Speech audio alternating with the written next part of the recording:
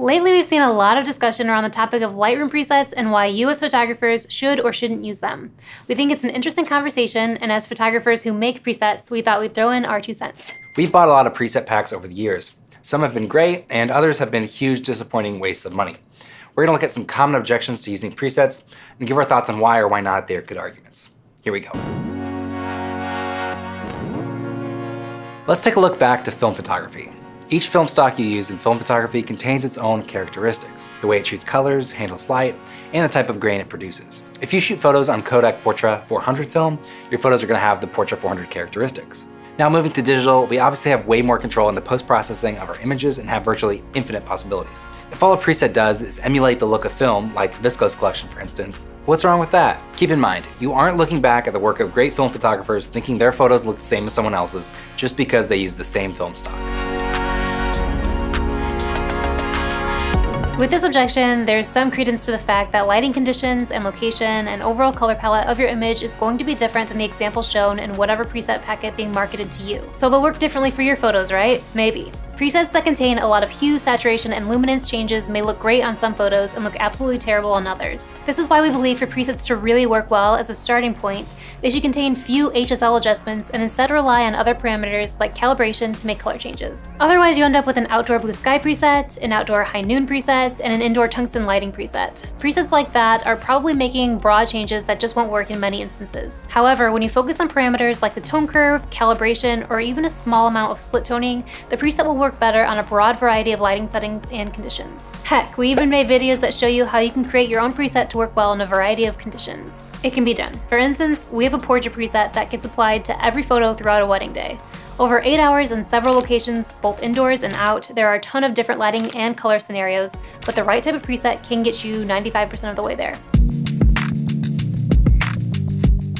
Okay, so if you use presets, you must be dummy when it comes to editing, right? Not necessarily. With a lot of presets, they provide you a solid starting point for your editing. You can then dive into the parameters and make adjustments based on your style, subject, whatever. In fact, using presets really helped me learn Lightroom years ago. After applying a preset, I would go through Lightroom and turn off panels to see how a certain group of settings were affecting my image. For instance, you may think that the HSL section or split toning is adding in a lot of color, but it could be the individual RGB curves. Or maybe you think the HSL section is doing the heavy lifting, when really it's all in the calibration. You can really play with each parameter and finesse the preset to your own liking. Starting from scratch without a preset, it can be hard to know where to even begin.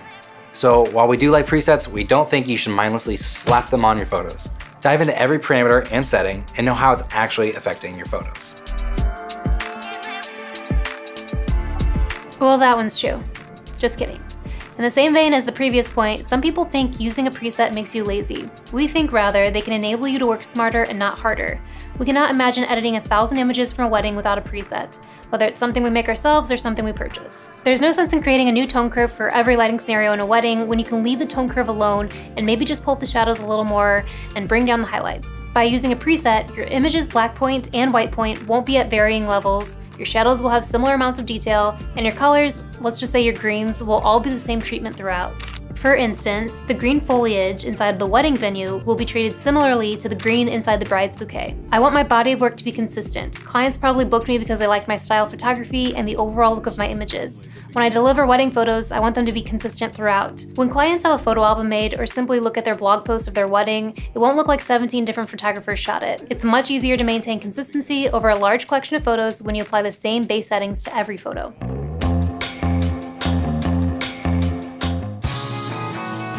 My name's Rachel and I'm years old. I like extreme sports and I'm looking for a guy who can build a beautiful website fast. If you don't use Squarespace, you can't be first place. What's up? My wife is gonna kill me for being here.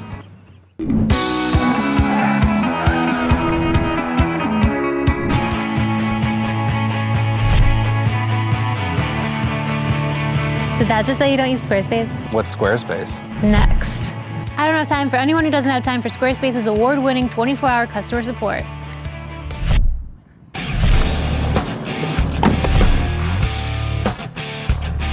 Did that just say SoundCloud rapper?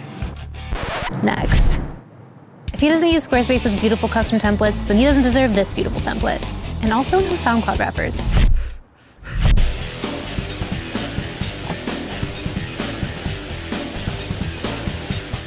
Please tell me you use Squarespace. Use it? Girl, I married it.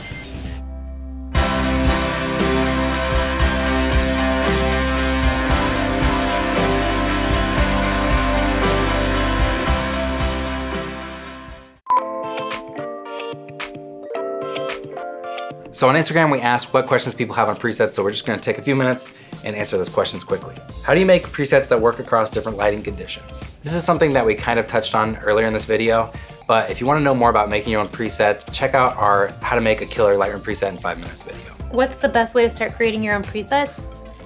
Same, same thing. Yeah. What's the best way to use them for learning? Yeah, so as I mentioned in the video, turning off the panels with that switch, you can see how each uh, different section is really affecting the photo. And then you can dive in and, and finesse that if you'd like. Great, okay. What's a reasonable amount to spend on presets?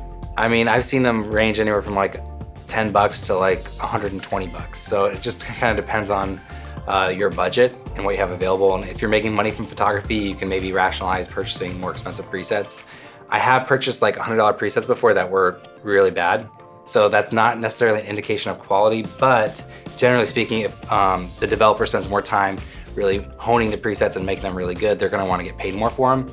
Um, so it kind of just depends on your own, your own budget really. Yeah, you can kind of tell um, if the person selling them has a big audience to sell to, uh, look at their uh, like Instagram feed and see what their consistency in editing looks like.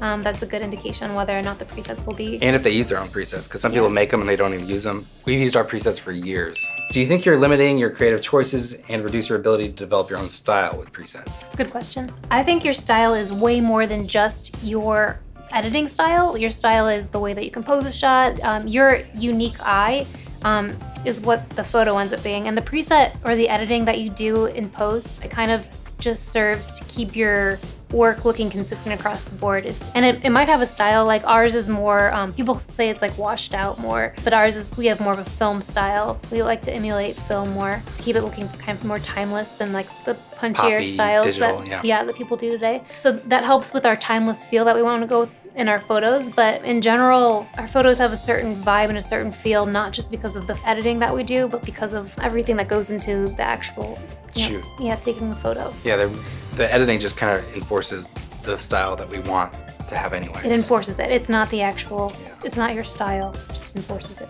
But yeah, we have a lot of Lightroom videos on like how to go about developing presets and just working in Lightroom in general. We highly recommend knowing that software inside and out regardless of whether you use presets or not. Yeah. Oh, and don't feel bad if you use presets because most of the photographers that you follow probably use presets, and if they don't, they're doing a lot of extra work that they don't need to be doing. We hope this cleared up any misconceptions you may have had about presets, or maybe it just made you angry because you've been burned before on trash presets. Either way, that's our heavily biased opinion on the subject. If you like using photo presets, give us a thumbs up. If you hate using photo presets, give us a thumbs up. See you next year. I don't know. Okay.